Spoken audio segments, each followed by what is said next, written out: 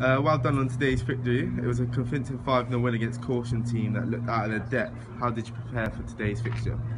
Um, I think I think you know this is our uh, fifth pre-season game, so you know we're making good progress. I think the squad's looking strong. Um, good performances again, another clean sheet, and um, yeah, I'm pleased where we're at so far. I think uh, we're looking in good shape. It's all about building up for two weeks' time when we start at Banbury in the league on the 8th of August. How have you felt pre-season has gone overall so far? I think it's good. I think we've attracted some. We've got a good mix. You know, good experienced players, good spine to the team, excellent goalkeeper, um, good spine, good good experience through the middle of the pitch, and some really exciting young players around that. So, I don't think we could really be in any better shape than what we are. Really, I think. Uh, you know the signings we've made this week, and hopefully a couple more that I can get done um, this, this next couple of days will really make the squad complete. So I think we're in really good shape. What will you take from Marines pre-season? What what what do you think's been the learning curve so far? I think that, you know pre-seasons can be can be misleading. We had a good pre-season last year and um, had a, a poor season by our standards. So you can read too much into pre-season. I think pre-season just about getting the players fit and ready, and it's all about how you start in the league. And um, that's the main priority for me to make sure we start we start well and we get we got a difficult you know difficult August. You know a lot of difficult games. FA Cup we're away you know, against Sholing, who probably, you know, were in this league last year. So it's, it's going to be difficult, but you know, with the quality I've got at my disposal at the moment, I think um, we should we should start well. Do you think this is one of the strongest Marine squads that's that's been around in a couple I of years? I think um, three seasons ago, when, when I came, you know, I inherited a team that was relegated, and there were some good players here. Um, and we've still got some of those players in this squad, but know what I'm excited about is some of the younger players that we're we're now bringing in, and I think mixing those two two together is going to give us the success that, that obviously the chairman wants and the club wants. You know, we've got a nice pitch to play on.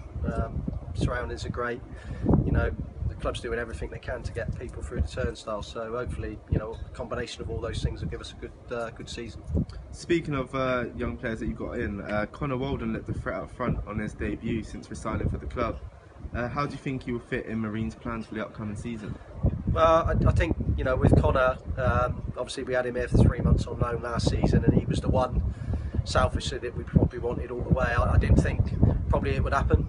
Um, if the truth be known, I thought he'd probably probably go somewhere else, um, but thankfully this week he's decided to join us, and I, I, think he'll be an absolute threat in this league. I think he'll score a lot of goals, and uh, you can see today he's very intelligent and he wants to play and he's enjoying his football. And I think with Connor, he wants to enjoy himself and express himself. So I think. Uh, I think here this season, hopefully he's uh, he's going to be the top goal scorer in the league. There's no reason why he can't be.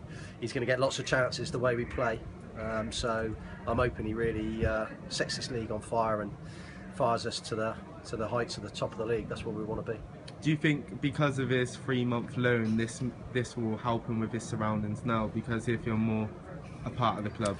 I, I think him being here for three months last year is why he's come because he realises what we want to do, how how how well we try and do things here, and um, he knows. I know he feels comfortable here and he enjoys himself here. So I think that's been the real factor of getting Connor Walden to the football club, and um, it's a massive boost for everybody that he's here. You have a few new acquisitions this season. Is the objective to push for that promotion? And how do you see the new players making an impact on the squad? I think everyone we brought in is going to add something. You know, we've signed some, I say, really good players. You know, Ash Taylor, Matty Borman in goal. All these players have got great, um, great attributes. And uh, yeah, I'd be, you know, I, we have to be challenging this season with the quality we've got here, and I think we will be. Um, just want to have a good start, down a good August, and then, um, you know, but the group's coming together great. You know, and we're, we're very lucky to have the players we've got, and um, it's down to me now to try and make sure that we start winning matches and we start well. So Just that's the uh, challenge. last question.